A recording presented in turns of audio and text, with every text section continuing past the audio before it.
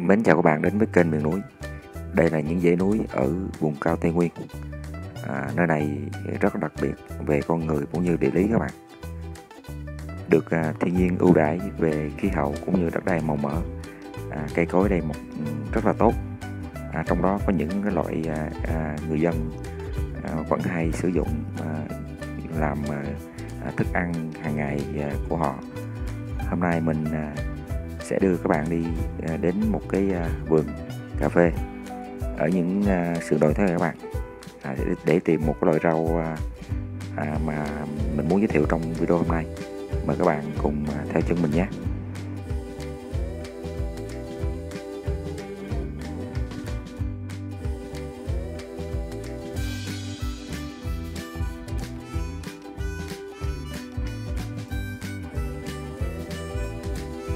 Đây các bạn. À, đây là cái cây à, rau mà mình muốn à, giới thiệu các bạn à. lát nữa mình hái đem về để xào tỏi ăn này nó gọi là lu lu được các bạn. Hay là gọi là nút áo cà đen hay là lông quỳ là cây thảo các bạn nha.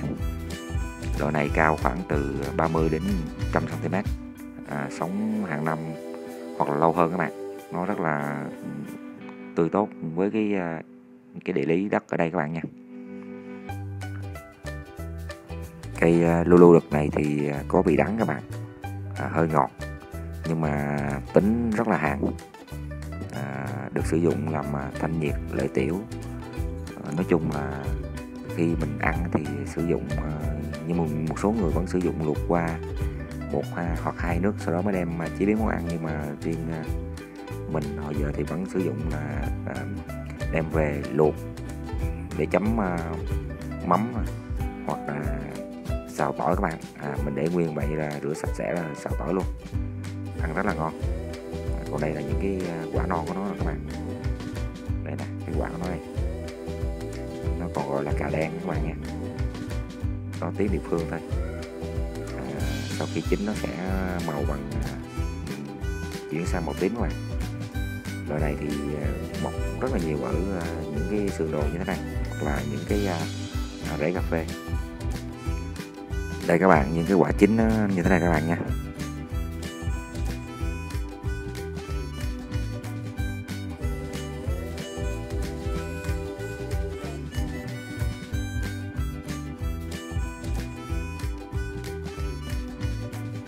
Người ở vùng cao miền núi thì người ta sử dụng những cái rau dại và mình nói cho đúng hơn gọi là rau sạch các bạn. Cho nên à, sức khỏe họ rất là tốt à, cộng thêm cái không khí trong lành ở ừ, tây nguyên à, đem lại để sức khỏe cho họ rất là nhiều. À, các, những người ở à, thành thị thì chắc chắn không bằng những người ở à, vùng núi đâu các bạn. Họ rất là khỏe và sống rất là thọ. Đây cái quả chính của nó các bạn.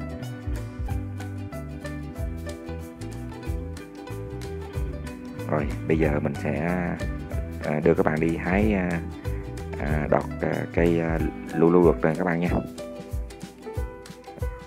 rất là nhiều.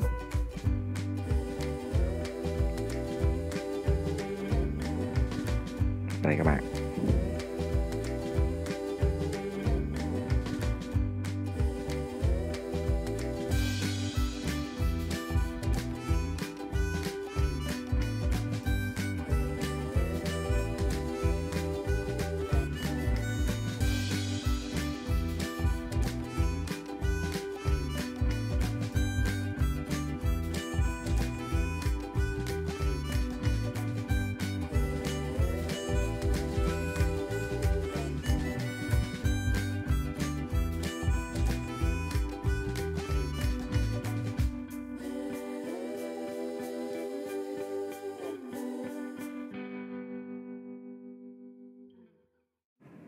Chỉ à, cần 30 phút thôi. Mình đã có một rổ rau như thế này các bạn.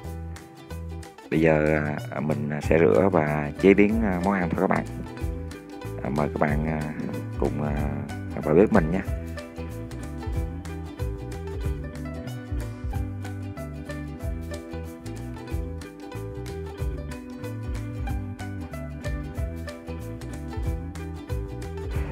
đây các bạn, mình xào với tỏi nè món này thì nhanh thôi là được bữa rồi các bạn. Nói chung là rau này thì siêu sạch rồi. Rất lợi cho sức khỏe của chúng ta các bạn. Bữa cơm của gia đình mình cũng à, à, gần à, ăn rồi. Tiện đây mình cũng mời các bạn dùng bữa với gia đình mình nhé. À, các bạn thấy video hay hãy like subscribe cho mình nhé. À, cảm ơn các bạn đã dành thời gian theo dõi video của mình. Hẹn gặp lại các bạn trong những video tiếp theo. Mến chào các bạn.